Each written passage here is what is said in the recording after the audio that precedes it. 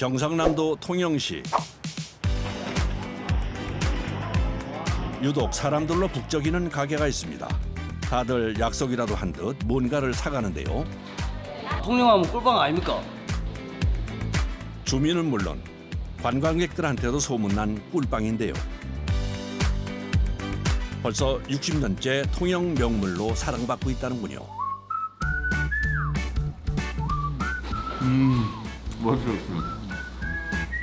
그 매력이 뭘까요? 달지 않으면서 계속 땡기는 맛. 커피하고 좀 어울려요 이게 원두하고 맛있어요.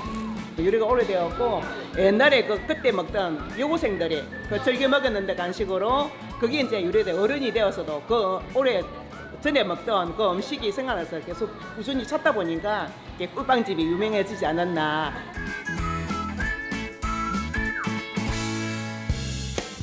꿀빵을 만들기 위해서 반죽할 준비를 하는 작업자. 먼저 달걀을 푼 물에 강력분, 중력분, 박력분 세 가지를 넣어줍니다. 손으로 반죽을 치는 작업을 할 겁니다. 네. 이렇게 보니 한 번에 만드는 반죽량이 상당한데요. 이 정도 분량이면 네. 몇 개 정도 나오는 거예요? 어, 한 1,600개 정도 나옵니다. 많은 양의 밀가루를 반죽하다 보니 노하우도 생겼습니다. 바깥쪽에 있는 밀가루부터 안쪽으로 모아가며 천천히 돌면서 섞어주는데요. 하지만 반죽이 될수록 찰기가 생겨서 힘에 붙이는데요. 지금 이럴 때 조금 힘들다고 잠시 쉬었다가 했다가는 밀가루가 골고루 안 섞여가지고 덩어리가 지- 지게 됩니다. 그래서 반죽을 시작하면 끝날 때까지 쉴 수 없습니다. 어느새 30분이 흐릅니다. 반죽이 한 85% 정도 되니까 이제 살짝 끈기가 좀 생겨졌거든요. 한번 와보세요. 반죽 한번. 조금만 더 넣어주세요. 매일 정량으로 만들어도 날씨, 습도에 영향을 받는 반죽. 그래서 꿀빵을 만드는 작업자를 불러 상태를 체크하는 것인데요. 오늘은 살짝 질게 돼서 밀가루를 더 넣습니다. 반죽을 하루에 몇 개 정도 해줘야 되나요? 평일하고 주말하고는 차이가 있는데 보통 평균이 3개, 많을 경우에는 4개 정도 합니다. 반죽에 힘을 가할수록 점점 강해지는 탄성과 점성. 이 작업을 매일 세번에서네번을 해야 하니 작업자가 느끼는 피로도는 엄청납니다. 사람이 그냥 진이 쭉 빠지는 거죠. 새롭고 온 직원들 이 반죽 하다 보면 며칠 지나면 못하겠다고 사표 쓰고 나가는 경우도 있었고 이런 식으로 쭉 늘어나는 상태가 됐으면 이제 반죽이 다 된 겁니다. 네. 그 사이 꿀빵에 들어갈 팥소를 경단 모양으로 만들고 있는 작업자들. 기계지만 수동으로 움직여야 해서 이 역시 많은 힘을 필요로 합니다. 기계가 스스로 못 빨아들이니까 사람이 위에서 눌러줘야 저게 기계 밑으로 빠져나올 수 있거든요. 이 작업이 손가락 힘이 제일 많이 들어가는 작업이거든요. 무조건 힘으로 누르는 것이 아니라 일정한 힘으로 눌러주는 것이 중요합니다. 힘 조절에 따라 나오는 게 틀리니까 이렇게 작게 나오는 것도 있고 이렇게 더 크게 나오는 거는 조금 떼고 이렇게 조금 떼고 이렇게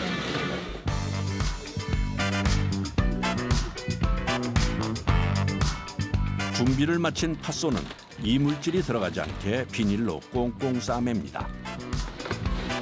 이어서 호박과 자색 고구마가 들어간 팥소까지 만들어주면 준비 완료. 갑니다. 하나, 둘, 셋. 짠. 다음 과정을 위해 준비된 반죽과 팥소는 재빨리 작업대로 옮겨줍니다. 반죽과 마찬가지로 성형도 수작업으로 이루어지는데요. 이거 나중에 이제 나눠서 빵 만들 겁니다. 꿀빵을 찾는 사람들이 워낙 많기 때문에 빠르게 만드는 것이 관건. 효율성을 위해 한 사람이 반죽을 소분해서 다른 사람들에게 나눠주는데요. 몇 그램 거예요? 23 정도요. 단연간 해오다 보니 저울 없이 손 감각만으로 소분합니다. 저울에 올렸을 때 거의 맞는 반죽 무게. 거참 신기하네요. 매일매일 소 나면 거의 비슷한 그람수가 나와요. 소분된 반죽을 받은 작업자들이 꿀빵 모양 만들기에 돌입합니다. 반죽으로 팥소를 둘러싸면 순식간에 한 개가 완성. 시간과의 싸움이라 모두 기계 같은 손놀림과 속도로 꿀빵을 만들어냅니다. 얼마나 하면 이 정도 손놀림이 나와요? 사람마다 하기 나름이죠. 뭐 손재주가 있으면 좀 빨리 더더갈 거고 없으면 좀 느릴 거고. 거의 2, 3년? 명절 때 송편 같은 거 만드시면 기가 막히게 만드시겠어요. 우리가 솜씨가 좋아서 좀 잘하겠지요. 손으로 움직이는 걸 많이 하니까.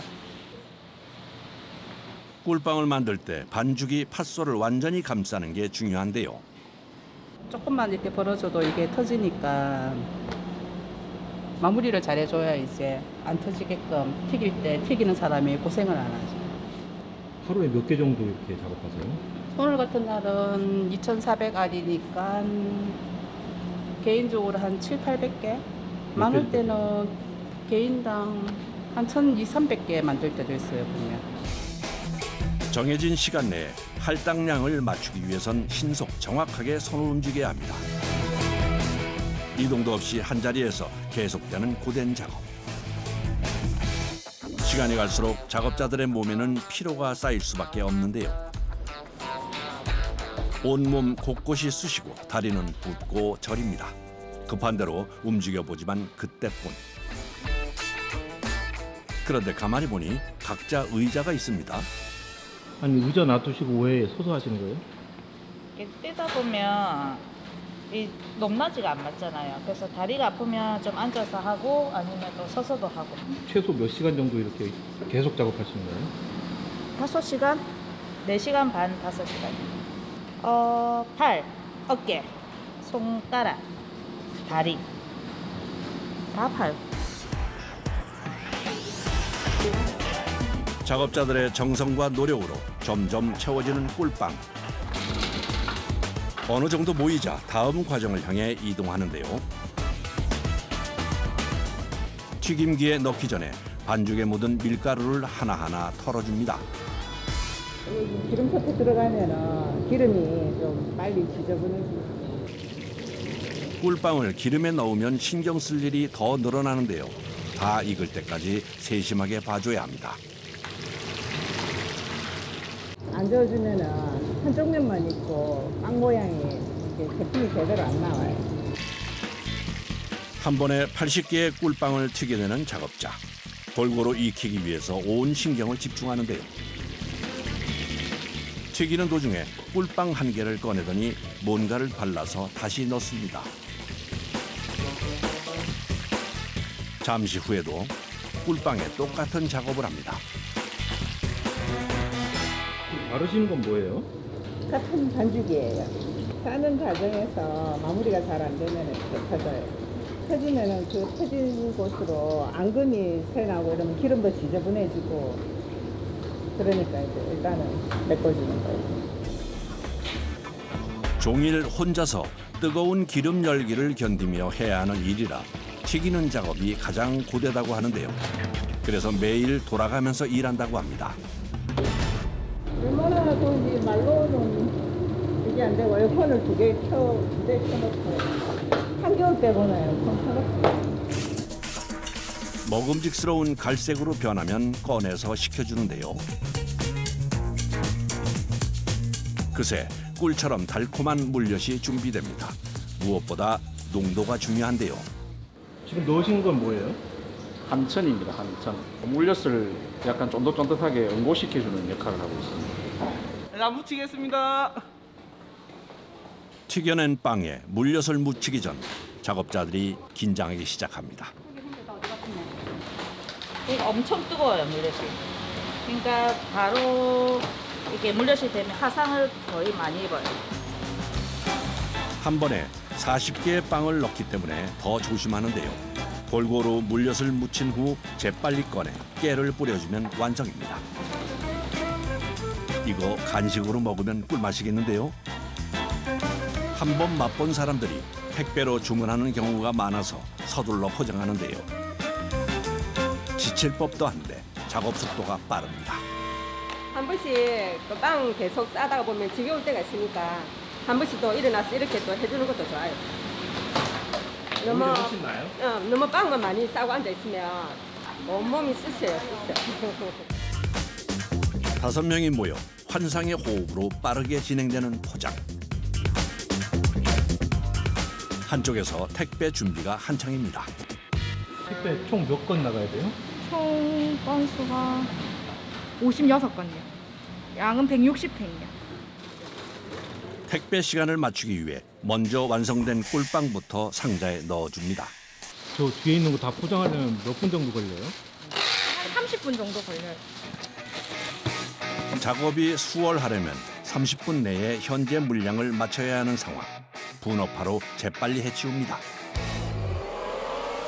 이렇게 포장까지 마친 꿀빵을 택배차에 실어주면 끝. 달콤한 맛으로 주문한 사람들을 행복하게 만들어 주겠죠. 관광객들이 꿀빵이 맛있다고 재방문을 해주실 때가 제일 보람있죠. 물건이 많이 나갔대죠. 아무래도 장사가 잘될 때. 그때가 우리가 이제 일하는 목적이죠. 장사가 잘 되면 우리도 일하는 보람이 있는 거죠.